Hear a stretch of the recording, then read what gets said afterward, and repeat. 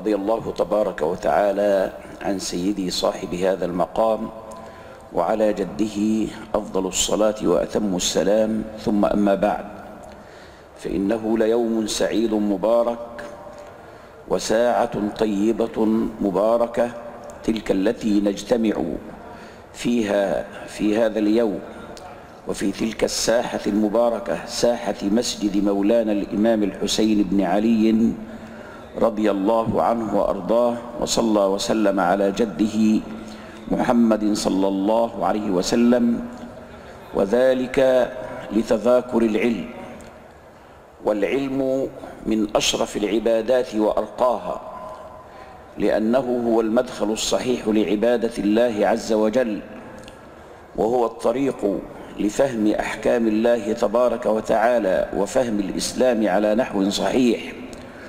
ولذلك كانت مجالس العلم عبادة من العبادات التي يباهي بها النبي صلى الله عليه وسلم كما تباهي بها ملائكة السماء. فمجالس العلم من أشرف العبادات وأسمى الأعمال ذلك أن مذاكرة العلم في ذاتها مطلوبة وهي من الأمور التي ترفع درجة العبد عند ربه كما قال عز من قائل يرفع الله الذين آمنوا منكم والذين أوتوا العلم درجات. وهذا المجلس يعتبر امتدادا للسنة الدعوية المباركة التي استنها معالي وزير الأوقاف الأستاذ الدكتور محمد مختار جمعة وهو في إطار تطوير أسلوب الدعوة الإسلامية على أرض مصر وقد وفقه الله تبارك وتعالى للوصول إلى هذا النجاح والاستمرار فيه وما من شك في أن هذه التجربة الذي يقودها فضيلته ستكون نبراسا وقدوة لمن يريدون أن يحتزوا أن يحدوا حزوها وأن يهتدوا بهديها في البلاد الإسلامية وسيكون لها أثر كبير في الارتقاء بالدعوة إلى الله عز وجل حيث إن مجالس العلم هي التي تصحح مسار الدعوة وهي التي تفقه الناس بأمور دينهم وهي التي تحمي العقول من الانحراف حتى لا تخطف من بعض من يجهلون أمور الدين فيوجهونها إلى الوجهة التي تنافي مقاصد الدين ومسار الدين وأحكام الدين. وإنني لأدعو الله تبارك وتعالى أن يوفق معالي الوزير الداعية المجدد المجتهد الأستاذ الدكتور محمد مختار جمعة ليظل عطاؤه ممتدا للدعوة الإسلامية ولخدمة بيوت الله عز وجل ولخدمة كتاب الله تبارك وتعالى ولخدمة هذا البلد الأمين الذي احتضن دعوة الله وقام عليها وحفظ علوم الإسلام ودرسها وأوصلها إلى الإنسانية كلها. صحيحة خالية من الدخيل ومن الخطأ ومن التلبيس وإن هذه السنة إنما أقيمت لله تبارك وتعالى على أرض مصر شأنها شأن أي عمل خير أو أي عمل تقوم به مصر. فمصر ما قدمت للعالم كله إلا الخير وإلا دعوات الخير وإلا العلم وإلا النصح وإلا مد اليد مد الأيدي بالسلام والتصافح والتعايش بين الإنسانية كلها وبين الأمم جمعاء. أدعو الله تبارك وتعالى أن يحرس هذا البلد وأن يحميه من كل المكاره وأن يحفظ رئيسنا وأن يحفظ جيشنا وأن يحفظ شرطتنا وأن يحفظ كل يد أمينة تمتد بالحفاظ وبالعون لهذا البلد الأمين الذي سيظل محروسا بحراسة الله إلى أن يرث الله الأرض ومن عليها. ندوة اليوم موضوعها في غاية الأهمية لأنها تتعلق بمقاصد الشرع الغايات والنتائج والملخص ما يريده الله عز وجل من إنزال هذا الدين الخاتم الذي ختم به شرائع السماء. وهذا المقصد إذا عرفه الناس يكون كالضياء الذي ينير طريقهم. فأنا حين أؤدي الواجب المطلوب مني يكون أمامي النور الذي يرشدني إلى الهدف مما أقوم به الآن. فأؤديه في إطار الهدف حتى لا يختلط علي الأمر فأذهب ذات اليمين وذات الشمال وأنا لا أرى المقصد الأساسي الذي يريد الله تبارك وتعالى أن يوصلني إليه من خلال ما شرعه. موضوع في غاية الأهمية ويقوم على بيانه اليوم نخبة من أفاضل العلماء وأكابر الفقهاء.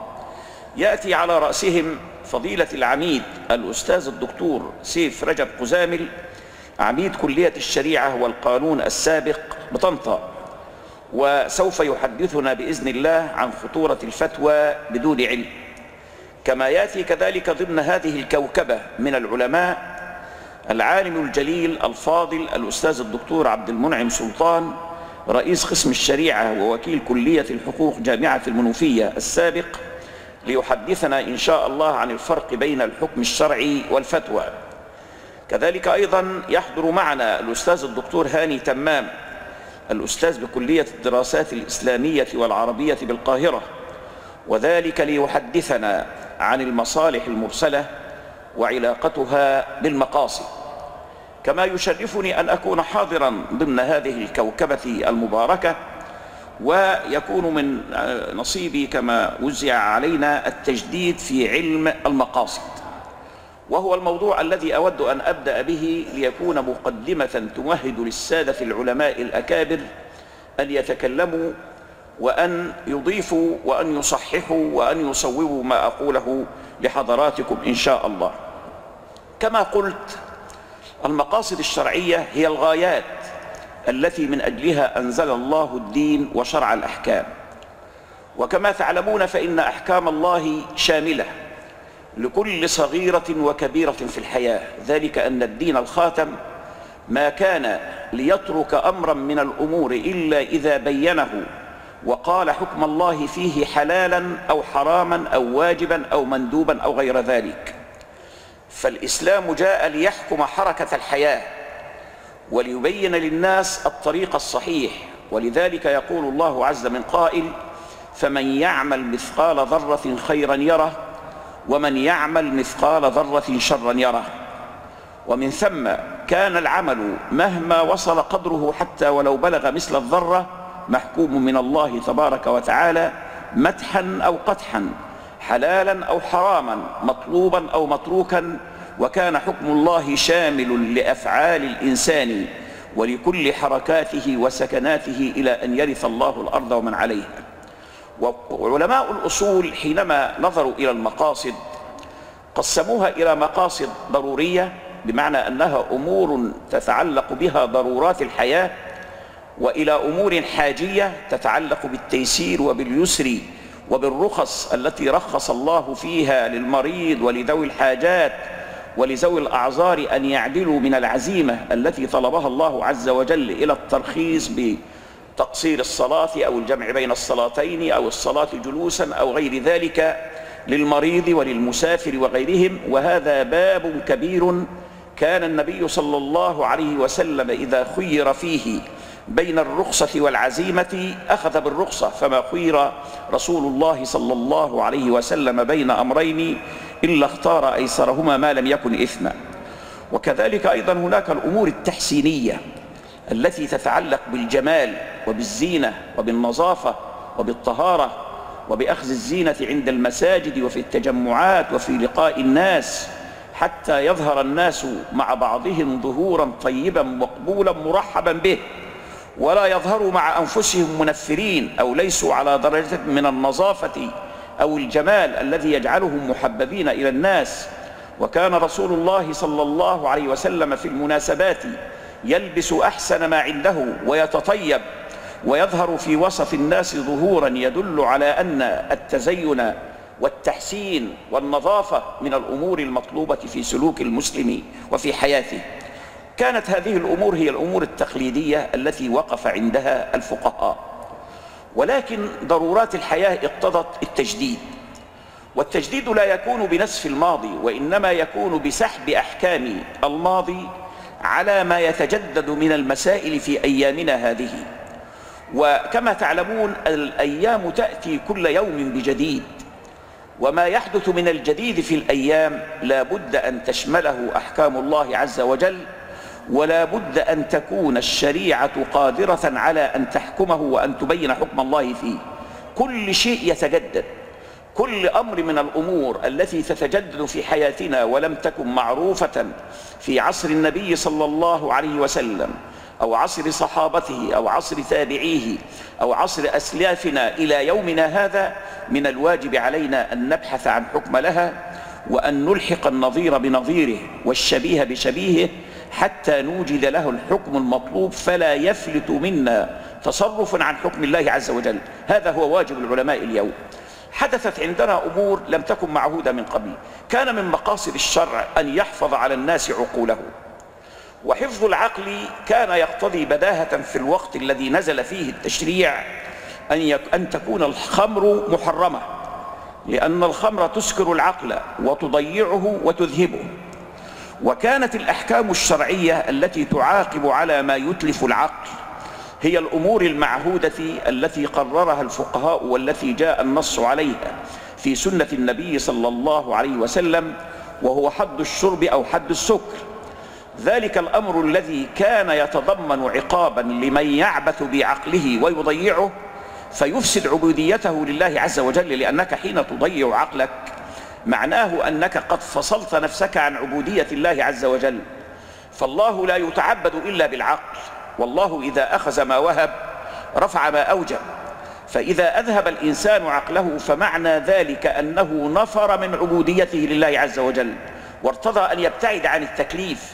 فعزل نفسه عن الله وعن الوجود وعن الحياة وصار أشبه بالحيوان الأعجم. فكان لا بد أن يكون له عقاب. والعقاب كان على جريمة محددة اللي هي السكر بالوسائل المعروفة التي لم يكن ضررها يتعدى نطاق العقل. طيب اليوم ظهرت ألوان من المسكرات والمفترات والمضيعات لم تكن موجودة من قبل ولعلكم تسمعون كما أسمع عن هذه المسميات التي يتعاطاها الشباب ويتعاطاها بعض الناس لا ليضيعوا عقولهم فقط بل ليضيعوا حياتهم وحياة من يعولونهم أو يصاحبونهم أو يسيرون معهم وتمثل نارا مهلكة للفرد وللمجتمع على السواء. هذه الأمور التي استجدت لا لا يجدي معها أن نعاقبها بالعقاب الذي كان موجودا في عهد النبي صلى الله عليه وسلم وهو الجلد. ليجلد الإنسان عددا من الجلدات ثم يترك. هذه الجرائم الكبيرة التي تؤدي إلى إتلاف العقل. وإلى إتلاف النفس وإلى ضياع الفرد وإلى ضياع المجتمع وإلى تدمير الأوطان لأن المخدرات والمسكرات إذا فشت في الأوطان فإنها تصرف الناس عن العمل الجاد وتضعهم على طريق الهلاك. وكثير من الأمم الآن تغزى بهذا الأسلوب الحقير أن يفسدوا على الناس عقولهم ببث هذه الأمور التي تضيع العقل وتفسد النفوس. فهل يليق أن يظل العقاب على هذه المنكرات الكبيرة بنفس الطريقة التي كان يجلد بها من يشرب الخمر فيسكر أو ما إلى ذلك من العقوبات إن هذا الأمر يقتضي التطوير والنظر في العقوبة يقتضي نوعا من التجديد لأن مقصد الحماية مقصد حماية العقل قد تغيرت الوسائل إليه وقد تغيرت المخاطر التي تنتابه وبالتالي كان لابد من أن تساير الأحكام الشرعية. هذا الأمر حتى يظل محفوظا في عالم الناس وفي دين الله وفي الدنيا التي نعيش فيها وحتى نحيا أعزة كراما لا تمتد أيدينا إلى أحد طالبين أو متسولين. هذا مثل من الأمثلة التي توضح هذا المعنى. وقس على ذلك كثير من الأمور التي استجدت في حياة الناس. كنا فيما مضى نتعاقد بالكتابة بالشفاهة. ثم تطور الأمر فأصبح الناس يذهبون يمينا ويسارا. وينتقلون من مكان إلى مكان أسرع من البر فمن كان منا يتصور أنه سيخرج حدود بلده يوما ما اليوم قد يعيش الإنسان في بلد ويمسي في بلد آخر وهناك تتغير العادات وتتغير التقاليد وتتغير المعاملات وأصبح التواصل بين الناس من خلال وسائل الاتصال الحديثة. فهل يكفي أن يكون التعامل بيننا مشافهة كما كان يحدث فيما مضى؟ فينعقد التصرف بالإيجاب والقبول كما كان يقول أسيادنا الفقهاء أم أن وسائل التواصل أصبحت ممتدة ليكون الإيجاب في بلد والقبول في بلد آخر؟ وكان هذا التباعد بين المتعاقدين مدعاة لأن يتغير القول بمجلس التعاقد الذي كان يجلس المتعاقدان مع بعضهما في مكان واحد.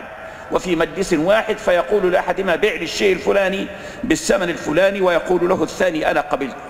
اليوم يحدث التعامل عن بعد فهل تظل الحماية المكفولة للتصرفات والعقود معقودة لهذا النظر القصير الذي كان المتعاقدان يجلسان فيه في مجلس واحد أم أن الأمر يمتد ليشمل هذه التصرفات فتكون نوعا من التطبيق للتراضي الذي قصده الله عز وجل حين قال يا أيها الذين آمنوا لا تأكلوا أموالكم بينكم الباطل إلا أن تكون تجارة عن تراض منكم. هل تدخل هذه تحت مظلة التراضي أو لا تدخل؟ لا شك أنها تدخل. وقس على ذلك كثير من المعاملات ولا أريد أن أطيل.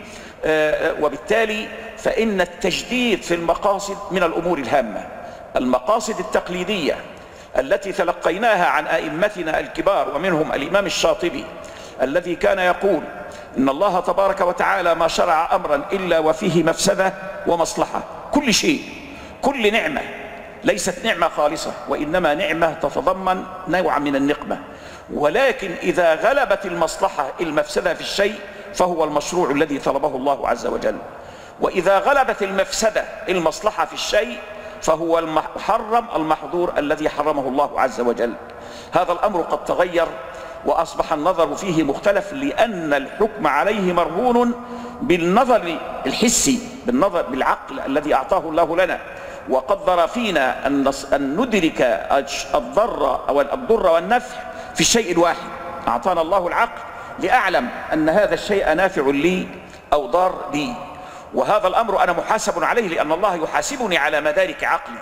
ومن ثم كان لابد من إعادة النظر حتى تكون الشريعة مواكبة لحكم تصرفات الناس في في كل زمان ومكان وذلك ما يريده الله عز وجل من إنزال شرعه ولعل فيما سيعقب به الأساتذة الكرام ما يزيد هذه الفكرة وضوحا وأبدأ بالعالم الجليل الفقيه الكبير سيادة العميد الأستاذ الدكتور سيف رجب قزامل عميد كلية الشريعة والقانون السابق بطنطا وذلك ليحدثنا عن خطورة الفتوى بدون علم. فليتفضل مشكورا. بسم الله الرحمن الرحيم. الحمد لله والصلاة والسلام على خاتم رسول الله سيدنا محمد وعلى آله وصحبه وبعد. فكل عام وأنتم بخير. ندعو الله تعالى أن يبارك لنا في شعبان وأن يبلغنا رمضان.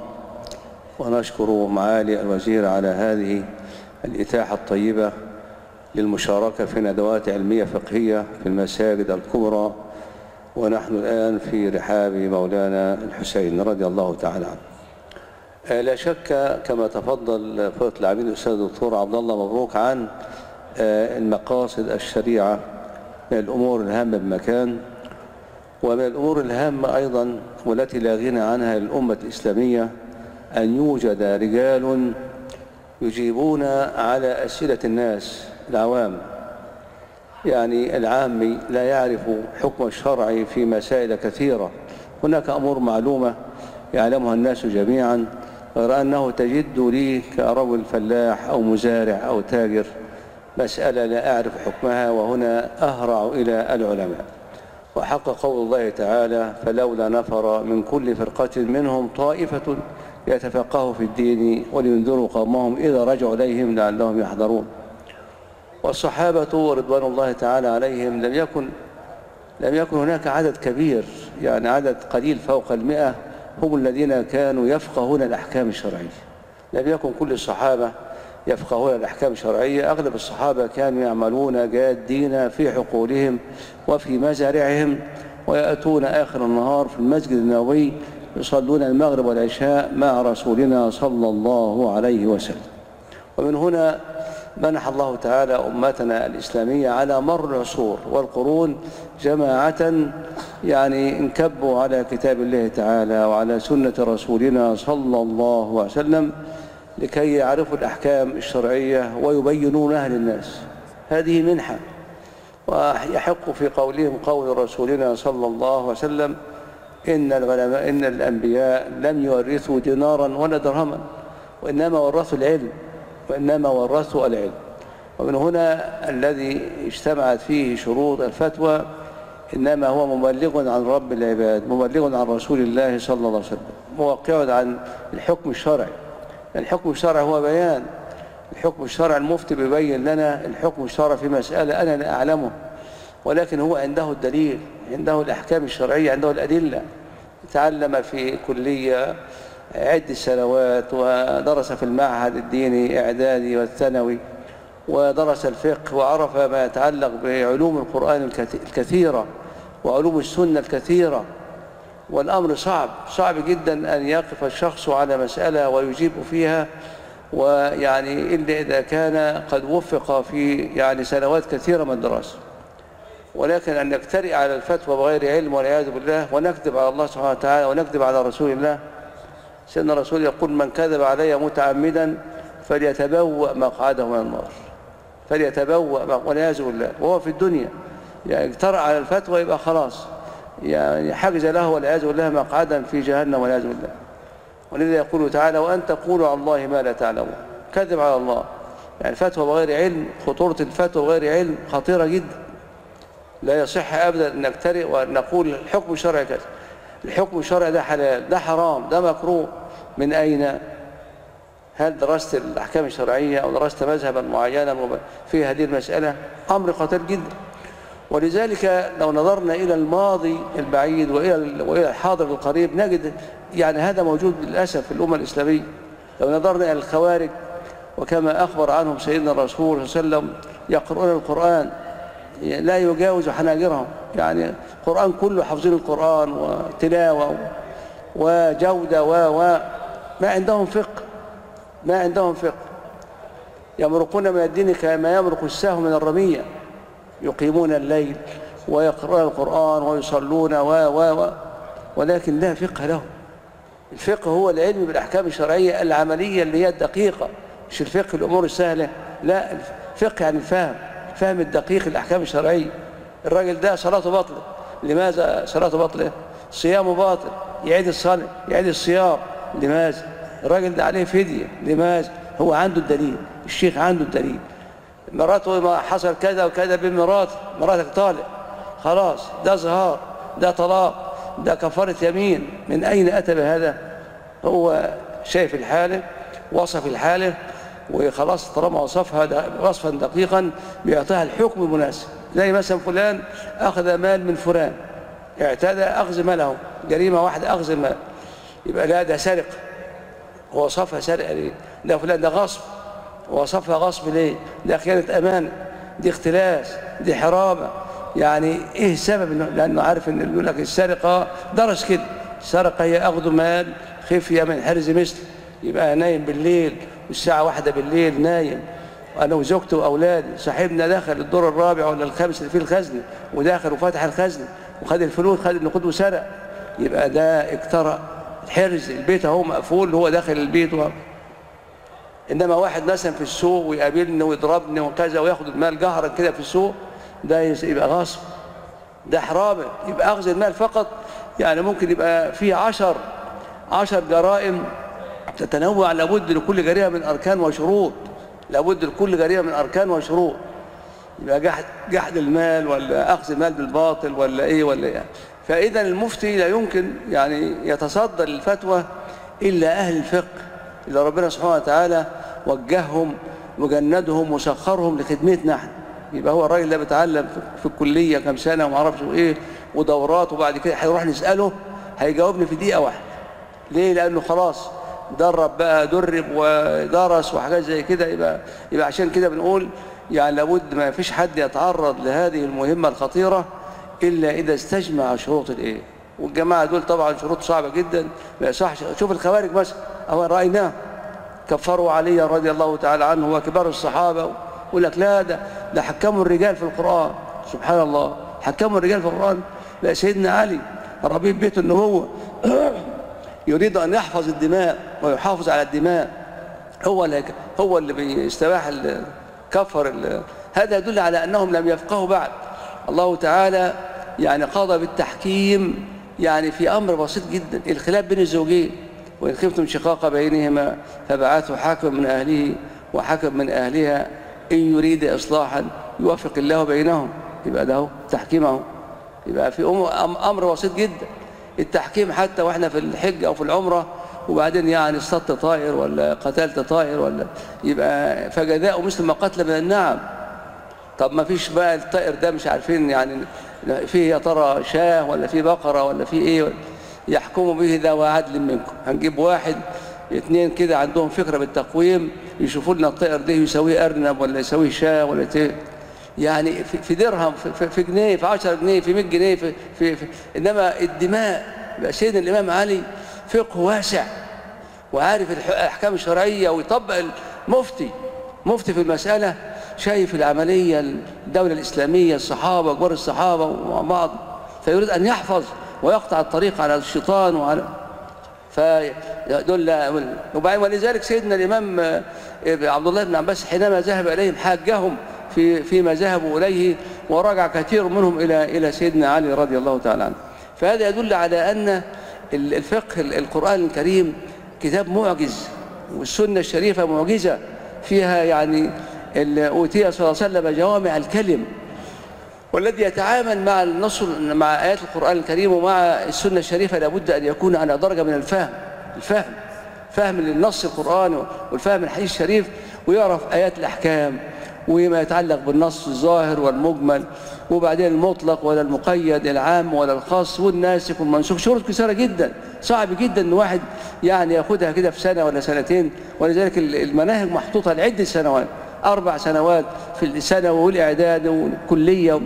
فهذا يدل على أن المسائل الفتوى خطيرة جدا ومصر والحمد لله بلد الأزهر الشريف فيها الإفتاء وفيها الأزهر فيها الأوقاف والمساجد الكبرى فيها يعني مشايخ جالسين للفتوى والمنطقة الأزهرية في كل محافظة فيها فيها فيها فتوى متعددة نعمة كبيرة.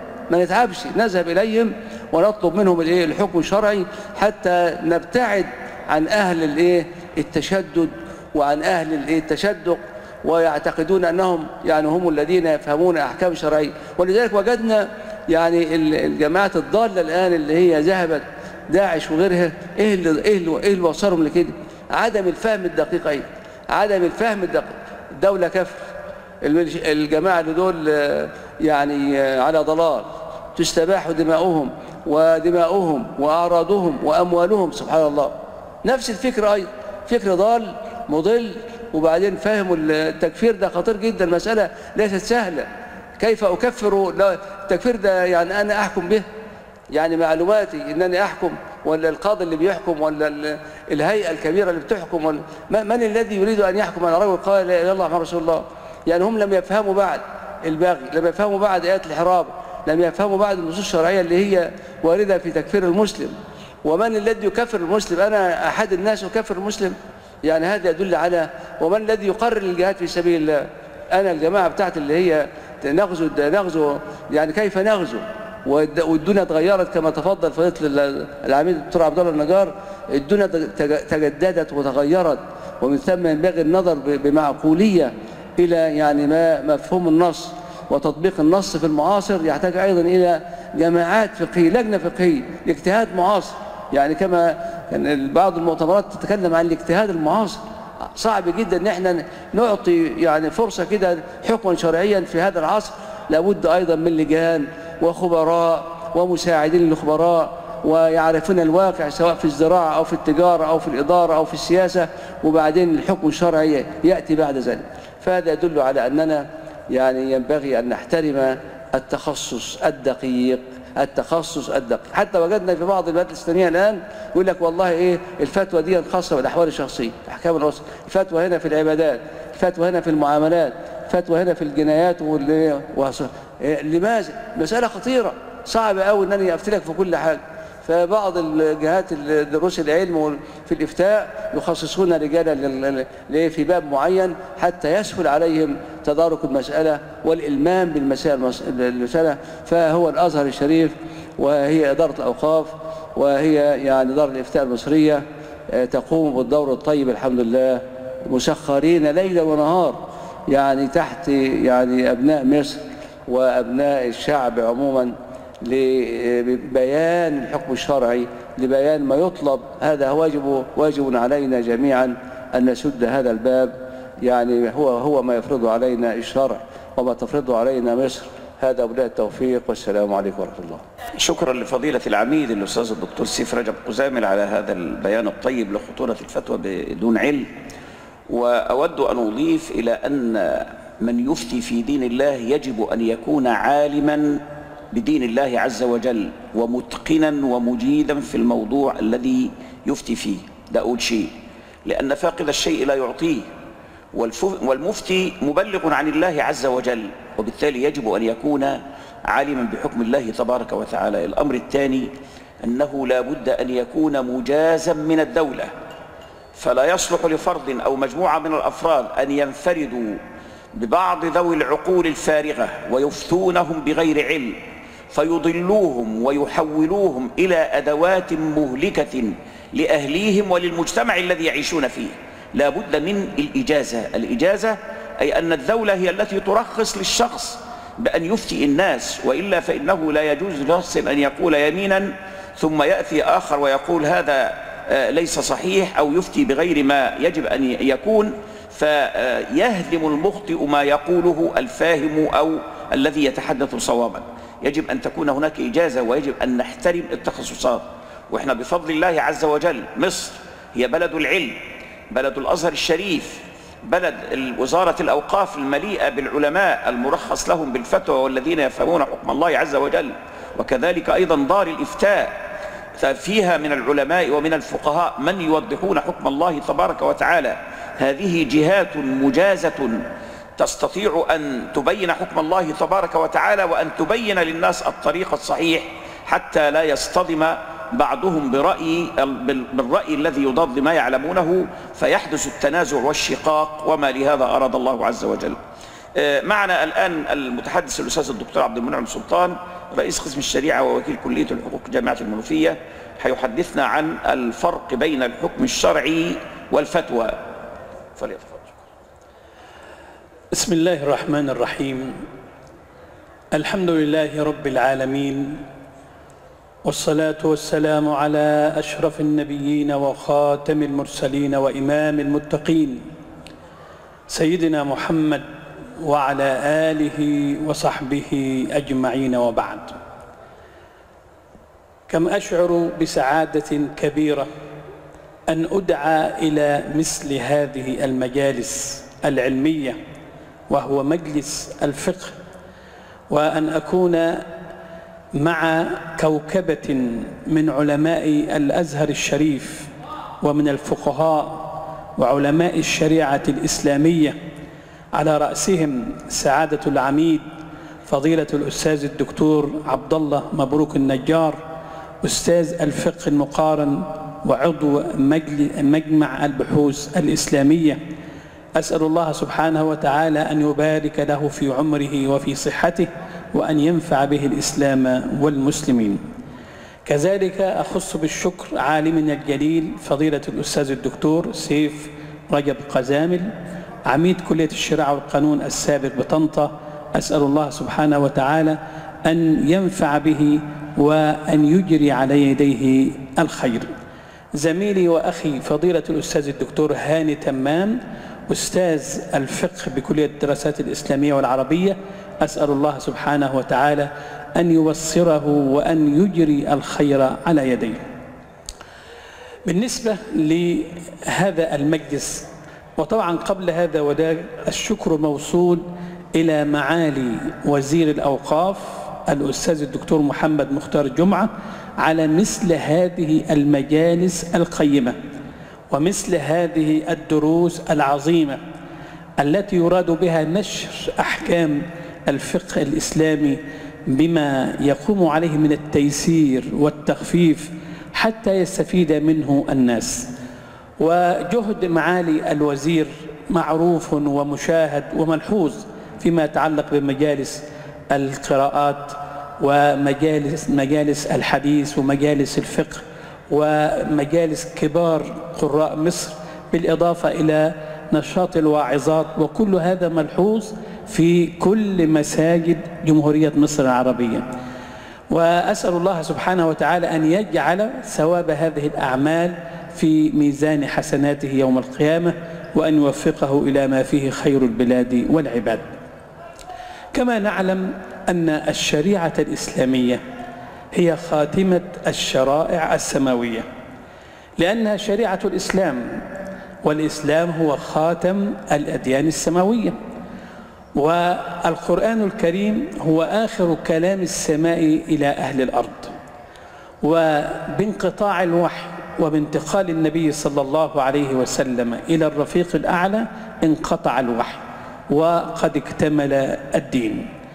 ولكن يلاحظ أن أقضية الناس متجددة والأحداث كثيرة والنصوص محدودة ومن هنا كانت الشريعة الإسلامية هي شريعة القرآن صالحة لكل زمان ومكان.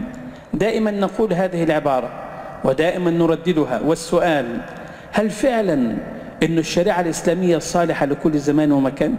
ولا هذا يعني قول أو مقولة من يعمل في حقل الشريعة أو من ينتسب إلى الشريعة الإسلامية أو من محبي الشريعة الإسلامية. فعلا أن الشريعة الإسلامية صالحة لكل مكان وزمان. والدليل على ذلك أنها اشتملت على عوامل بقائها ودوامها واستمرارها. وذلك في الأمور التي لا تتغير بتغير الزمان أو المكان أو الأشخاص نجد أن الشريعة الإسلامية جاءت بأحكام قاطعة لا مجال فيها لاجتهاد كالأحكام الخاصة بالعبادات والأحكام الخاصة بالأخلاق والأحكام الخاصة بالمواريث وما إلى ذلك. هذه الأمور بينها الله سبحانه وتعالى بيانا وافيا. أما بالنسبة للأحكام المتغيرة التي تتغير وسائلها من عصر إلى عصر ومن مكان إلى مكان نجد أن الشريعة الإسلامية جاءت بمبادئ عامة. وقواعد عامة وأسس عامة. والمثال على ذلك هو المعاملات. المعاملات هل المعاملات التي كانت على عصر النبي صلى الله عليه وسلم ووسائل التعامل الذي كان في عصر الصحابة هي نفس الوسائل التي نتعامل بها الآن؟ كلا. جدت وسائل متعددة. كان زمان التعامل البيع يعني مبادلة مال بمال أو طعام بطعام. لكن الآن جدت وسائل حديثة كإلفيزا كارت مثلا. ما حكم هذه هذه الوسيلة؟ مسائل نقل الأعضاء الرحم البديل الاستنساخ كل هذه أمور وأقضية حديثة لم تكن على عصر السلف. ما الحكم فيها؟ هل الجواز هل التحريم هل الإباحة؟ لو لم تكن الشريعة الإسلامية مرنة لا توقف الفقه عند إيه عند حد معين. ولكن هذه الشريعة الغراء هي شريعة مرنة ولذلك هنا يأتي دور الإفتاء ودور مجتهدي الأمة الذين يبينون, يبينون أحكام الله سبحانه وتعالى في كل أقضية الحياة وفي كل ما يجد في حياة الناس. وحتى لا أطيل سوف أقتصر على بيان معنى الفتوى والفرق بينها وبين الحكم الشرعي. كلمة الفتوى في اللغة تطلق على مطلق إذا وردت في اللغة على مطلق البيان والإيضاح. أما إذا جاءت في اصطلاح الفقهاء فيراد بها بيان الحكم الشرعي للمستفتي في الواقعة المعروضة لمن يعلم الأحكام الشرعية ويعلم الواقع. ولذلك المفتي لابد أن يكون لديه علم بالأحكام الشرعية ويفهم واقع الناس الذين يفتي في أقضيتهم ويجيب عن أسئلتهم. والمفتي هو كالطبيب الذي يشخص الحالة. يرى سؤال مفتيه ما, ما الجواب أو ما الرأي الفقهي الذي يناسبه؟ هو كالطبيب يقوم بتشخيص ولذلك أن الفتوى تتغير من شخص إلى شخص ومن زمن إلى زمن إلى آخر ذلك. وقد ورد معنى الفتوى بمعناها العام في العديد من الآيات القرآنية حوالي تسع آيات في القرآن الكريم. أما في نصوص السنة ما يزيد عن مئة نص وسأذكر بعضا من هذه الآيات. ورد في سورة سيدنا يوسف عليه السلام يوسف أيها الصديق أفتنا في سبع بقرات سمان يأكلهن سبع عجاف. قضي الأمر الذي فيه تستفتيان. يا أيها الملأ أفتوني في رؤياي. وورد أيضا في سورة النمل على لسان ملكة بلقيس قالت يا أيها الملأ أفتوني في أمري ما كنت قاطعة أمرا حتى تشهدون فمعنى كلمة الإفتاء أو الفتوى في اللغة هو معنى عام يشمل ما كان إجابة عن سؤال أو ما كان في نوع من الجدال أو المحاجة وما إلى ذلك. أما الحكم الشرعي فكما نعلم عرفه علماء الأصول بتعريفات متعددة لكن أيسر هذه التعريفات هو ما عرفه الجمهور علماء الأصول. وحيث ذهبوا إلى أن الحكم الشرعي هو خطاب الله تعالى المتعلق بأفعال المكلفين اقتضاء أو تخييرا أو وضعا. وكلمة خطاب كما نعلم هو توجيه الكلام المفهوم إلى الغير بحيث يسمعه ويدرك معناه ويستفيد منه إما حالا أو مآلا. وبإضافة كلمة الخطاب إلى الله سبحانه وتعالى يخرج بها خطاب ما سواه. إذا قلنا خطاب الله كلمة خطاب ولفظ الجلال المضاف إليه يخرج به خطاب الإنس فيما بينهم والجن فيما بينهم. هذا لا يسمى حكما شرعيا أي لا يترتب عليه لا ثواب في الفعل أو لا عقاب في الترك.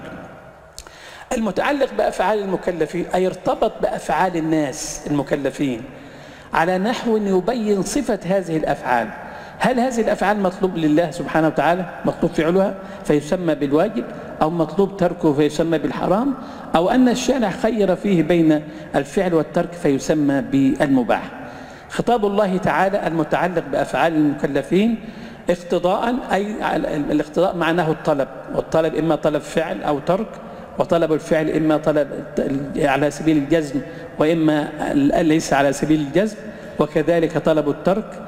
إما على سبيل الجزم إلى آخر هذه التقسيمات التي بينها علماء الأصول في كتبهم. الخلاصة أن الحكم الشرعي هو خطاب عام لكل مكلف والمكلف هو من بلغته الدعوة الإسلامية وكان أهلا لتلقي الخطاب عن الله سبحانه وتعالى. وقد ذكر العلماء ما هي الحكمة في أن الشارع اشترط التكليف. هناك في ما يسمى بأهلية التكليف. وأهلية الأداء قالوا لأن أحكام الله عز وجل لها منزلة من السمو والرفعة لا يخاطب بها أي إنسان وإنما لابد أن تتوافر فيه مقومات وأهلية خاصة حتى يكون أهلا لتلقي الخطاب من الله سبحانه وتعالى. إذا الحكم الشرعي هو ما يخاطبنا الله عز وجل به سواء ما يتعلق بالواجبات وأقيموا الصلاة وآتوا الزكاة أو بالمحرمات ولا تقربوا الزنا ولا تقتلوا أنفسكم أو بالشيء بالمباحات زي الأكل في ليل رمضان أو ما إلى ذلك أو ما جعله الشارع سببا لشيء آخر ك أقم الصلاة لدلوك الشمس رؤيا الدلوك سبب في وجوب صلاة الظهر أو مانعا كالقتل سبب من إيه موانع المرس أو أن الشارع يتطلب شروط للصحة أو الفساد إذا وجدت يقع الفعل صحيحا وإذا انتفت يقع الفعل باطل. هذا هو معنى الأحكام الشرعية. وهي لا تتوفر إلا لمن يعلم بهذه الأحكام وأقسامها وما إلى ذلك. فبالتالي المفتي هو من له علم بهذه الأحكام ويقوم بإسقاط هذه الأحكام على واقع الناس على من يستفتيه على الواقع التي يراد معرفة حكم الله سبحانه وتعالى فيها فهو يشخص هذه الحالة ويبين الحكم الشرعي المناسب له. فالفتوى تعتبر تطبيق عملي للأحكام الشرعية أما الحكم الشرعي فهو ما خاطبنا الله سبحانه وتعالى به من الأحكام.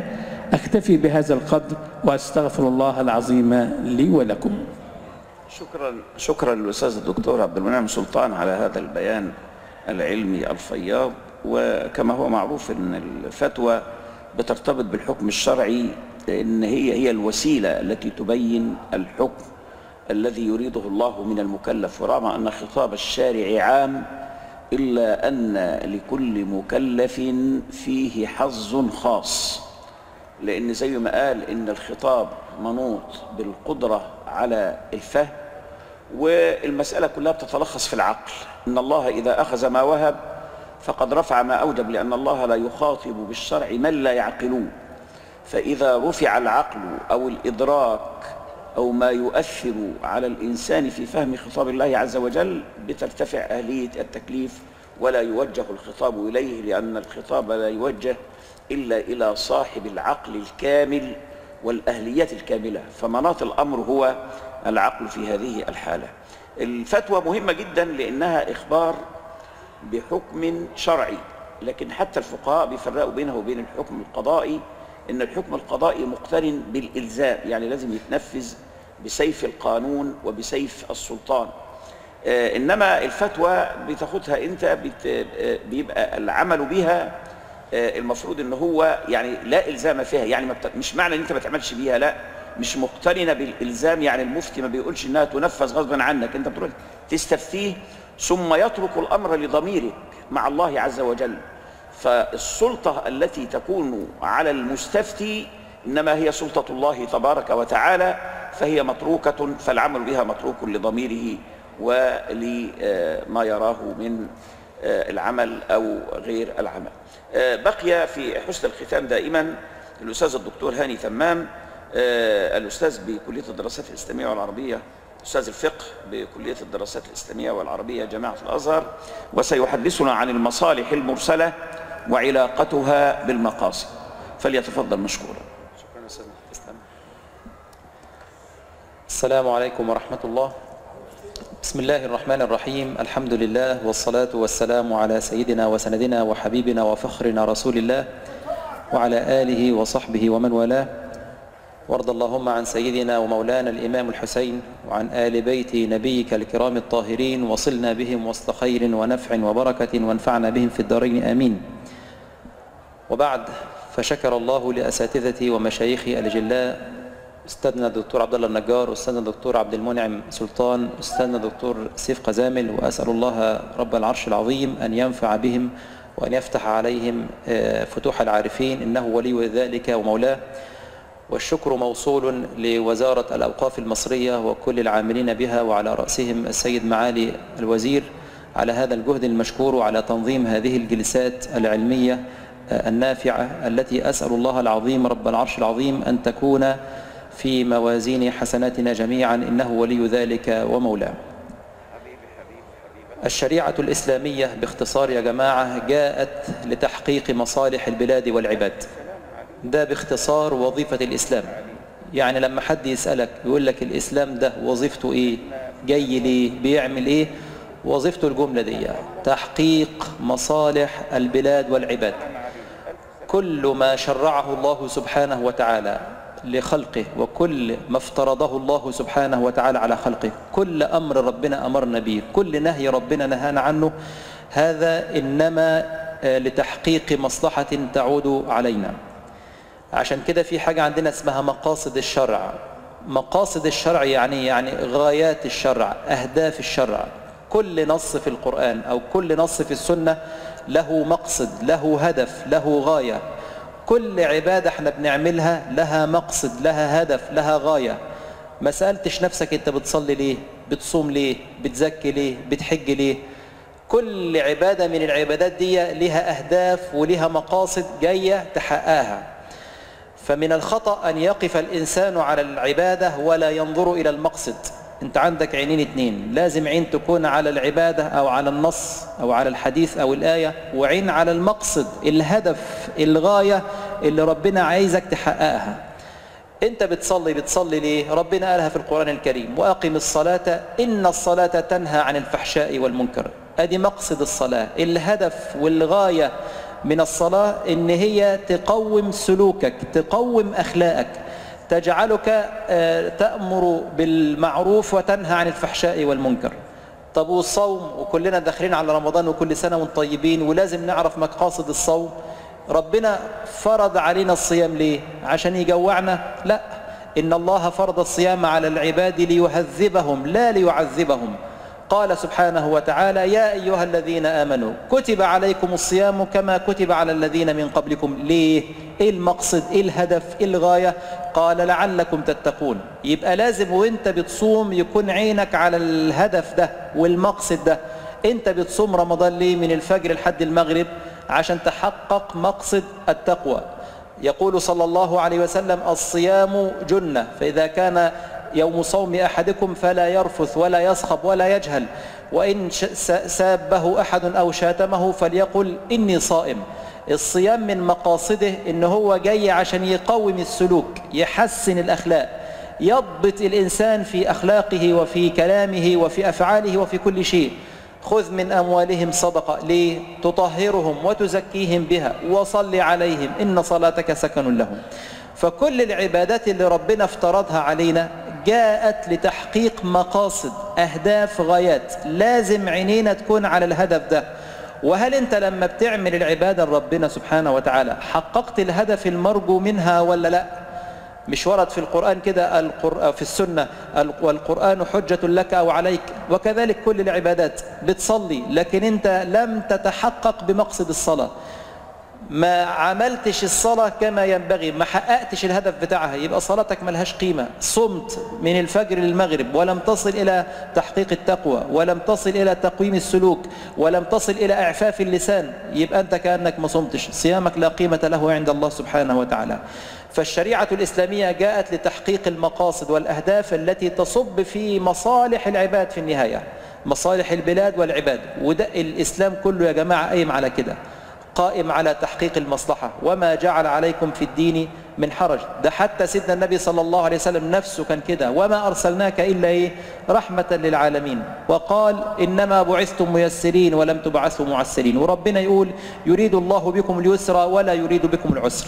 فكل العبادات اللي ربنا افترضها علينا هي في النهاية لتحقيق المصالح. هي في النهاية لتحقيق أهداف معينة لتحقيق غايات معينة. فلازم نكون عارفين الأهداف دي والمقاصد دي كويس. إحنا عندنا ربنا سبحانه وتعالى من حكمته ومن رحمته بهذه الأمة المحمدية أنه لم ينزل نصوصا تفصيلية لكل حوادث البشر. يعني مش كل حاجة إحنا بنعملها نلاقي لها نص في القرآن أو في السنة. لا القرآن يأتي بأدلة إجمالية. النصوص متناهية. متناهية يعني إيه؟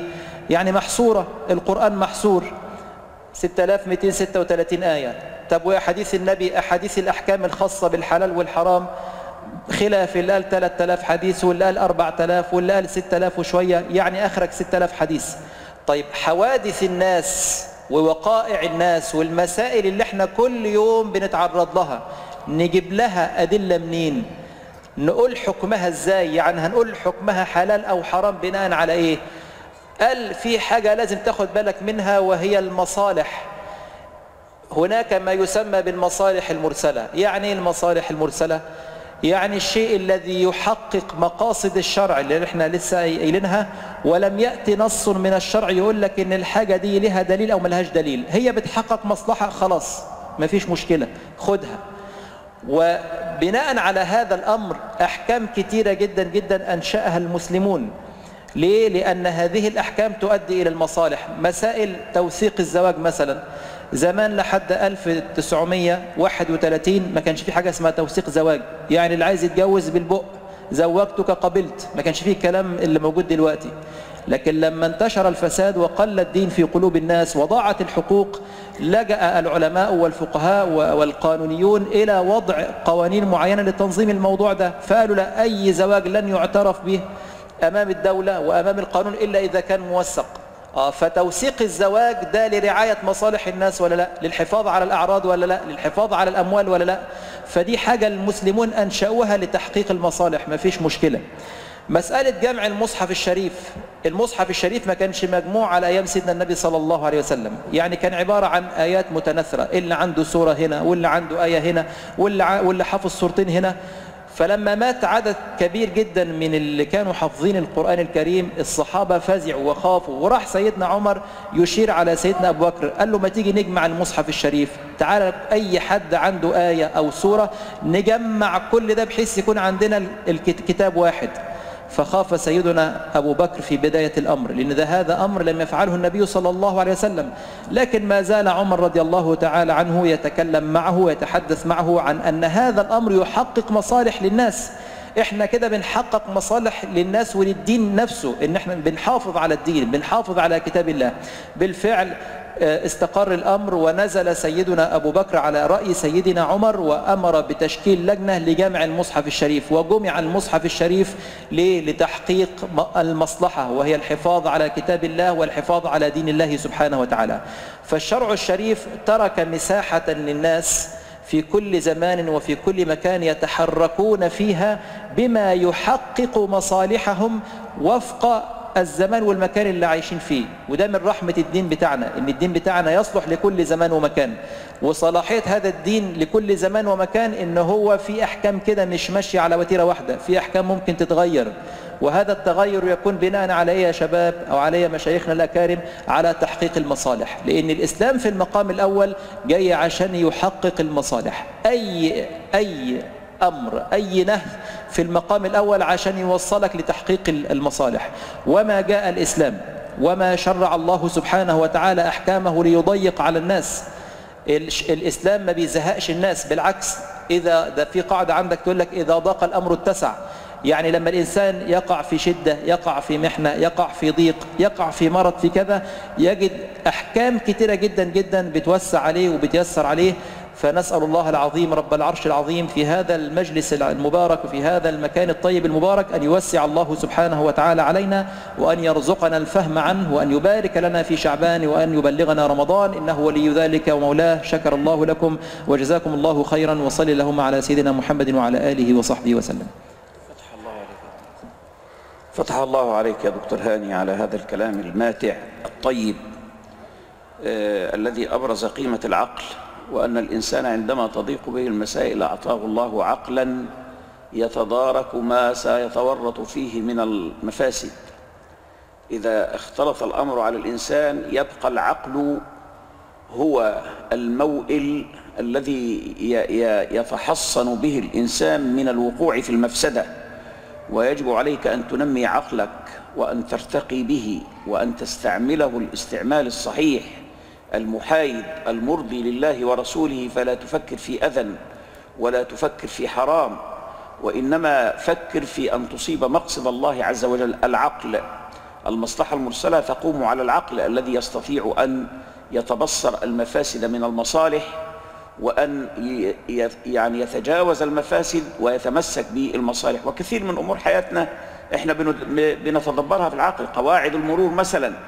تنظيم حركة المرور النظام في الشوارع نظام التعامل نظام التواصل كل هذه الأمور التي الحديثة التي ما كان لها وجود من قبل العقل هو الذي اكتشفها وهو الذي نظمها وهو الذي أدرك المصالح التي بها والمصلحة. طالما هي مصلحة مشروعة لا تتصادم مع شرع الله ولا تغضب الله ورسوله فهي حلال حتى ولو كانت مقررة بالعقل ومعظم المصالح المرسلة تجيء من هذا المنطلق وعلى هذا الأساس السليم أنا في ختام هذه الندوة المباركة وفي هذا الملتقى الفقهي العظيم أود أن أكرر شكري لمعالي الداعية الكبير الأستاذ الدكتور محمد مختار جمعة على هذه المجالس الفقهية التي أعادت لبيوت الله ولبيوت آل البيت رونقها ومكانتها. ورسالتها القديمة حيث كان الناس يجلسون للعلم وللاستماع إلى مسائل العلم وإلى الالتقاء بالعلماء وليس لإداء الصلاة فقط بل إن من أشرف رسالات المسجد أن يلتف الناس حول العلماء وأن يحضروا مجالس العلم وأن يستمعوا إليها. وحي الله الوزير الذي التفت إلى هذه السنة المباركة وإلى غيرها من السنن التي استنتها وزارة الأوقاف من أجل نهج دعوي صحيح يليق بدين الله ويليق بمكانة مصر فشكر الله للوزير هذه الجهود الطيبة وأدعو الله عز وجل أن يمتعه بالصحة والسعادة وأن يديم عليه نعمة التوفيق. وأشكر آه، آه، ال- الأساتذة العلماء الأفاضل الأستاذ الدكتور سيف رجب قزامل والأستاذ الدكتور عبد المنعم سلطان والأستاذ الدكتور هاني تمام. وأشكركم على حسن الاستماع. وأدعو الله تبارك وتعالى أن آه، يهل علينا هلال رمضان بالخير واليمن والبركات وأن يوفقنا لما يحب ويرضى وأن يرزقنا حسن الفهم لدينه. اللهم آمين. ورضي الله تبارك وتعالى عن سيدي صاحب هذا المقام وعلى جده أفضل الصلاة وأتم السلام. والحمد لله رب العالمين.